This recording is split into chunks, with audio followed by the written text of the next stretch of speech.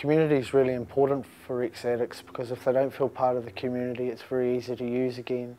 It's hard to join a group in the community because you always ostracise yourself. You feel like you're the outsider when you go there.